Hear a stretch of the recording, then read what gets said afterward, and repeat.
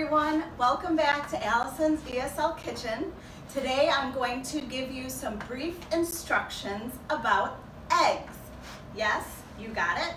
Plain egg. I'm going to use this time to discuss some vocabulary about cooking eggs. One very common way that people like to enjoy eggs here in the States, especially for breakfast, is scrambled. Scramble means to mix. So scrambled eggs would mean that the eggs have been beaten, usually with a whisk, such as this one. And then whisk all the egg together till it has an even consistency. Then you could pour them with some butter or, or some oil in the pan, and you would simply just pour the eggs in and stir them in the pan until they are cooked through. Another very popular way to enjoy a simple egg is to boil it. So boil means to submerge in hot water to cook it. So there's two ways to boil eggs. There's hard boiled and then there's soft boiled. Hard boiled means you cook the egg long enough until it becomes solid, even the center. Then you would peel off the shell and you could either cut it and put it on a salad or you could just eat it plain. Soft boiled is similar. Soft boiled though means you cook it for a shorter time in the hot water and then the egg in the middle is still soft. So another popular way to cook eggs would be to pan fry them. And so as you would guess, you would just need a pan for frying. This is called a frying pan. A pan-fried egg could be sunny side up, where you would just crack the egg in the bottom of the pan and cook it until it is just firm enough how you like it. And if it is sunny side up, that means you leave the yellow on top so it looks like a sun. If you flip it once, very quickly on the second side for just a few seconds, then it is called over easy. You flipped it over easy, meaning just for a little bit.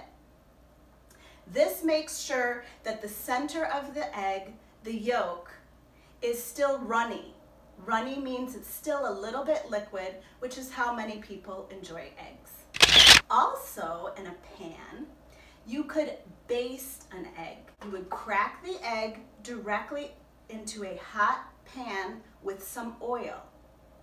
Then you would let it cook on one side and you would use the juices or the oils from cooking and gently pour that liquid over the top of the egg. The other way is to poach an egg. Poaching an egg, you crack it directly into slightly boiling water. You crack it directly into the hot water so that the egg starts to cook and form its own pod right there in the hot water. As you know, in my kitchen, I love to use butter. So whenever I prepare eggs, I prefer to pan fry them or cook them with lots of nice, rich, fresh butter. Also, very common, especially in the States, is to use the simple combination of salt and pepper on your eggs, no matter what style you cook them. There's so many ways to incorporate vegetables in with your egg dish. Perhaps you could serve your eggs on a bed of spinach or some cooked cabbage with some onion. There's always a way to make eggs the center of a meal and plenty of different ways to prepare them. Again, please comment below and tell me your favorite style of eggs. Here's the real challenge. I decided to make eggs for you today, one style and I chose the most challenging technique. For me, that is poaching. Again, to poach means to cook an egg in hot water. And the trick is to not let it fall apart. It's also tricky because I want my poached egg to have the white part fully cooked, but the center yolk still a little bit runny or soft so that it has that delicate flavor. Let's see if I can pull it off today. I am starting with some hot water in the pan. I will need to cook it on my stove till it starts to gently boil. Okay, so now I have my hot water on some medium heat so that it will start to gently boil. What I like to do when I poach eggs is add a little oil. I want the egg to form and stay together in this hot liquid. And therefore I think the, uh, the oil helps that. I also am now going to add some salt. This will dissolve into the water. I'm just going to take a whisk. And again, as you know, I am not a professional cook. So this is just Allison's method, helping you with vocabulary and hopefully entertaining you as well. All right, so I see that most of the pink salt has dissolved in the bottom of the pan. I have mixed in the oil quite a bit. And now I have these gentle bubbles. Okay, this looks about perfect. Okay. And I'm going to quickly pop that egg in. Now, there naturally will be some egg that skews or swims away from the yolk. I'm just checking to see if this egg is actually holding together.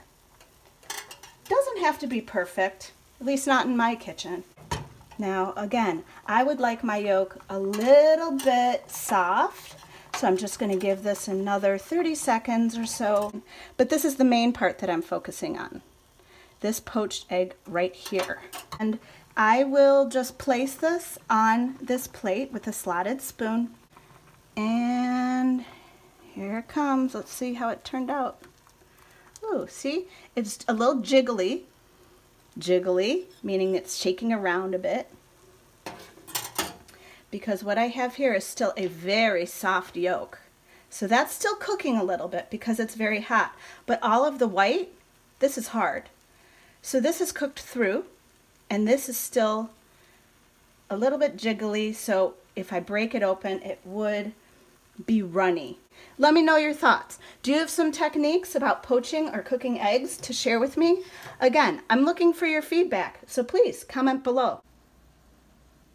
Okay, so now I have this beautiful poached egg and I'm going to season it as I recommended, very simply with some cracked black pepper, also sea salt, And this is a very simple dish, one of the most basic ways to enjoy an egg. So that is my short, brief episode about eggs.